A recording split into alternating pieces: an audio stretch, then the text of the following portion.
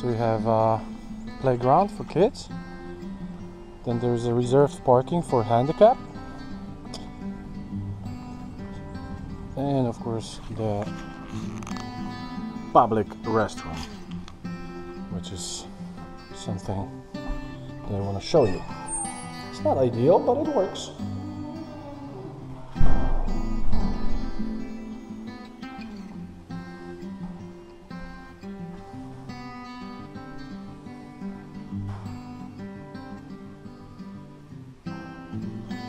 Okay? This is it.